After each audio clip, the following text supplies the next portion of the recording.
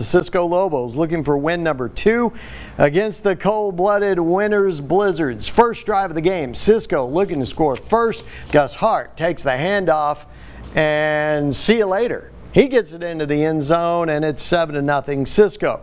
Winters though, they are in this game on the kickoff return. Alejandro Rodriguez gets loose and just like any good Blizzard would do, it blows the competition away. It's 7 to 7.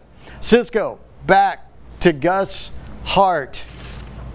The pitch, one missed tackle, two missed tackles and a touchdown for the Cisco Lobos. That made it 14 to 7 late in the first quarter.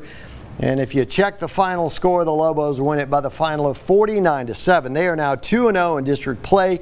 All they needed was for district to get started. That's two straight wins. Cisco hosts only next week. Winters hosts the Anson Tigers.